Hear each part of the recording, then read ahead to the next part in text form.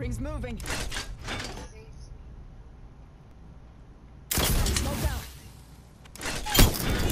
Oh my god, I just killed him with smoke. Using grapple. That's funny. It's probably the coolest thing I've ever seen.